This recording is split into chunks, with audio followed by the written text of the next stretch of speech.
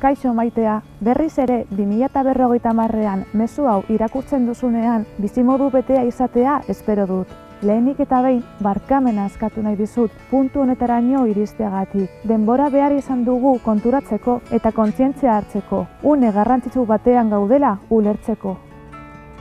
Onartu behar dut, kosta egin zaidala ohitura batzuk aldatzea, erosten dudana gehiago begiratzea, nondik datorren, nolako izten den, hegazkinez gutxiago bidaiatzea, baina erabaki txiki horiek gure ekoizlei babesa ematen laguntzen dute, gure herriei bizia ematen diete eta gure natura ondarea kontserbatzen laguntzen dute. Bizikletaren eta garraio publikoaren alde egitea lehen urratsi izan zen. Osasuna hobetzeaz gain isuriak murrizten laguntzen dut. Energia fosien aurrean, energia berriztagarrien aldeko apustua aldaketa handia da. Nork esango zigun eguzkia, itsasoa edo airea bezalako gauza zaharretan dagoela gure etorkizuna.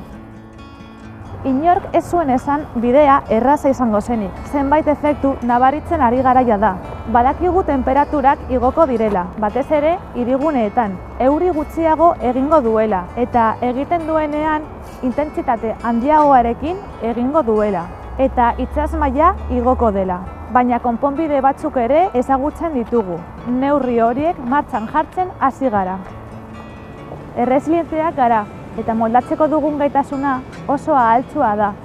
Gure eguneroko keinuek markatzen dute aldea. Klima aldaketak gure bizimoduarekin zerikusia duelako eta beste batzuei konpromisoa hartzen laguntzea ezinbestekoa delako trantzizio berdeari ekin ahal izateko.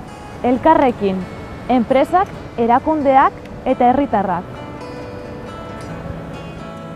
Pasatu gaitezen ezintasunetik eta beldurretik ekintzara. Garaiz gaude aldatzeko, asko daukagu jokoan, dena daukagu jokoan. Gaur, hartzen ditugun erabakiek, gure realitatea markatuko dute bihar. Eskerrik asko guztiagatik eta sorte hon, Euskal Gizarte maitea.